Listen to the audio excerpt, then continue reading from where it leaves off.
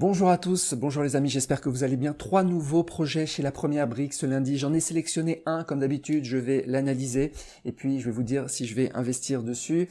Euh, je vous rappelle que la première brique c'est une société de crowdfunding mobilier, donc qui propose des projets, en général des projets de marchand de biens euh, sur lesquels on peut investir et on fait en moyenne du 10%. Sur ce projet en particulier, celui que j'ai sélectionné, c'est celui qui est sur Paris, il s'appelle Le Sculpteur. On est sur du 11%, 11% oui, mais vous pouvez rajouter 1,1% simplement en euh, mettant le code bonus MBS au moment d'investir. Vous mettez ajouter, vous cliquez sur ajouter le code bonus, vous mettez MBS euh, et puis euh, ça vous fait donc 11 plus 1,1 soit 12,1% pour, euh, pour ce projet. Si c'est votre premier investissement, vous passez aussi par le lien en description, le lien bonus. Tout est sur mon site objectif-renta.com. Suite à l'analyse que je vais faire, je vais lancer les votes sur mon club euh, Blue Sky. Donc euh, les votes, on va aller voir un petit peu les votes sur euh, la première brique. Je clique sur avis ici. Voilà, donc les votes, ils sont ici. Voilà, j'ai analysé pas mal de projets. On va voir. Donc si on si on arrive sur des sur des, des, des intentions d'investissement autour de 60-70%, ça veut dire qu'on a moins d'une seconde pour investir euh, sur ce projet. Je sais pas exactement. Alors il y a deux autres projets que je ne vais pas analyser, euh, donc qui ont qui ont lieu lundi aussi. Si vous voulez savoir ce que j'en pense, vous venez sur le club Blue Sky. Vous retrouverez euh, les liens en description de, de de la vidéo et aussi sur mon site objectif-renta.com. Voilà. Alors ce projet. Alors déjà, ce que j'aime sur ce projet, c'est la localisation. Donc localisation, on est dans le 15e arrondissement, c'est un arrondissement que je connais bien puisque euh, j'y ai vécu, j'ai fait mes études au lycée Buffon, mes classes préparatoires au lycée Buffon, donc je connais bien la zone euh, volontaire, pasteur, convention, toute cette zone-là, je connais bien. Euh, là, on est dans le sud du 15e, euh, pas loin du pas loin du, du périphérique, je connais moins. J'ai aussi un appartement en fait que je que je mets en location depuis 2017. Euh, qui est du côté de Vaugirard, qui est vraiment pas loin, Falguière, Vaugirard. Donc, euh, donc voilà, je connais bien. Bon, le 15e, c'est juste top. C'est juste un arrondissement qui est, euh, qui est, qui est vraiment, qui est vraiment sympa. Donc, c'est la localisation, elle est vraiment. Enfin, pour moi, c'est un de mes arrondissements préférés. Donc, donc voilà, localisation top. On est sur du bureau. C'est important. On est sur du bureau, donc on est sur deux plateaux, ici 78 mètres carrés et 57 mètres carrés. Donc on achète des bureaux, ils sont là, on montre les photos. J'aurais préféré que ce soit du, du, du résidentiel, évidemment. Donc, euh, donc voilà, donc c'est ici, vous voyez, c'est pas dans un état catastrophique, c'est correct, c'est très correct même, mais ce sont des bureaux.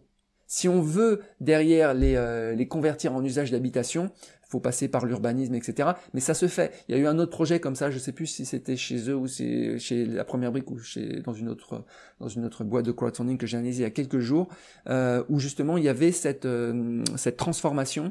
Et donc ça se fait parce que c'est dans le sens bureau vers habitation, c'est ce que recherche la mairie de Paris. Donc, euh, puisque c'est augmenter le nombre, le nombre d'habitations et ensuite on revend aussi la commercialité.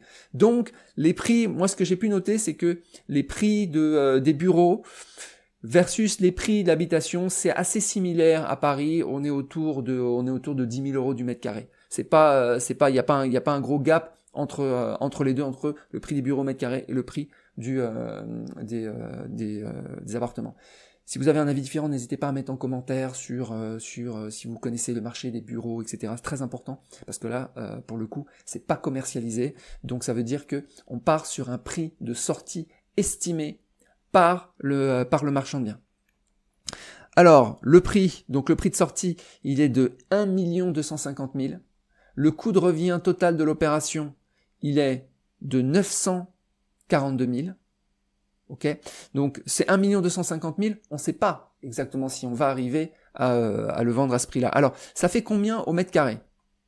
1 million, on va faire. On va prendre les mètres carrés. Voilà.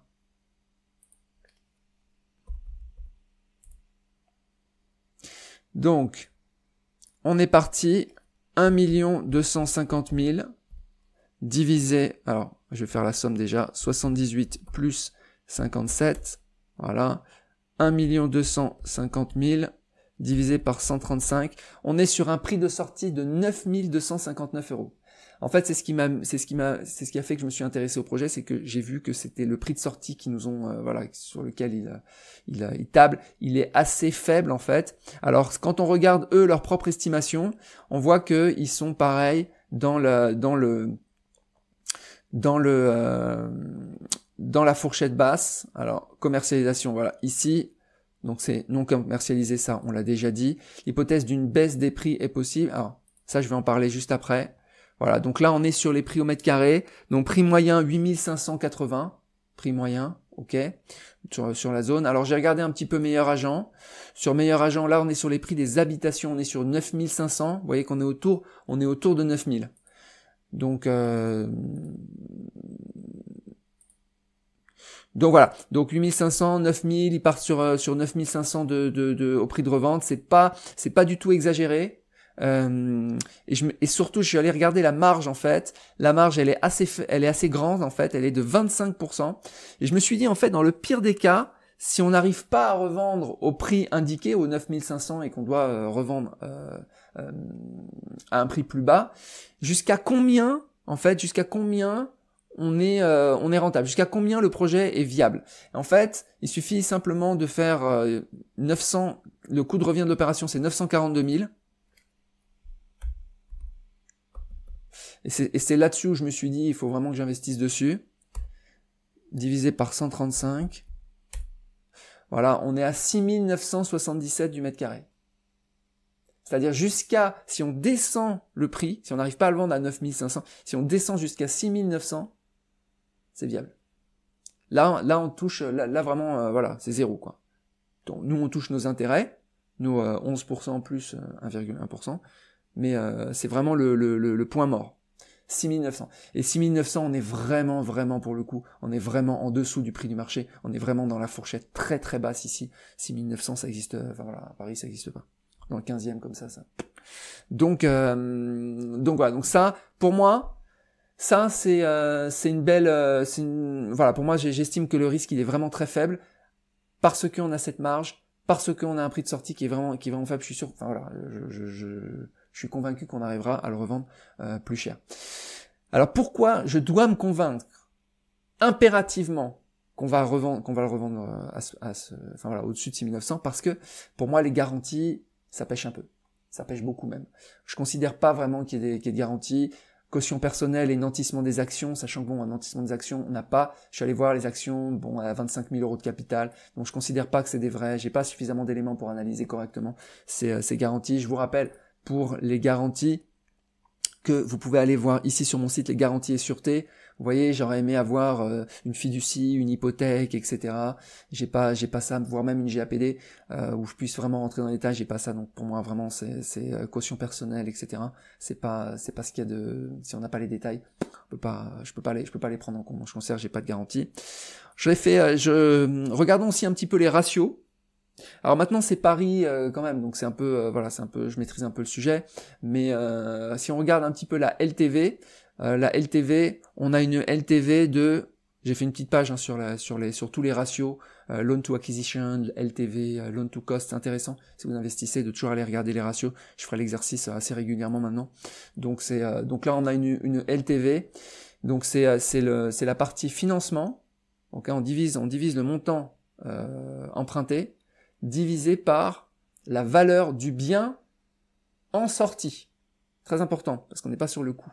On est sur en sortie. Et là, en sortie, comme c'est pas pré-commercialisé, bah, euh, on est parti, voilà, ils sont partis sur 1 250 000.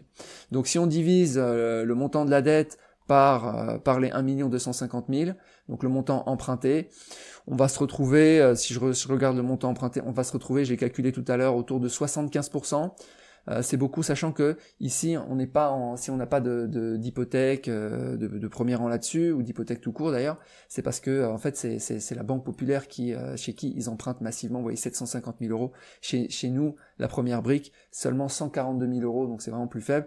Et ils investissent euh, leur denier personnel 50 000 euros. Donc si on fait 750 plus 142 plus 50, ça c'est le montant du financement, on divise par les 1 250 000, on trouve autour de, j'ai calculé tout à l'heure, autour de 75%.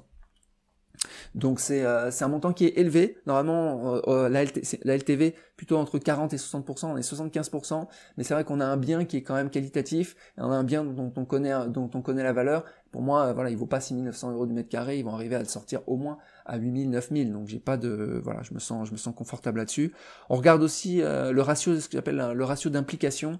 C'est combien ils sont impliqués sur le projet. Ils ont mis 50 000 sur euh, près, près de, euh, ça fait combien? Près de, sur 950 000. Sur 900 000, ils ont mis 50 000, c'est très faible, mais c'est pas zéro. Bon voilà, ils ont mis un petit peu, ils ont mis un petit peu.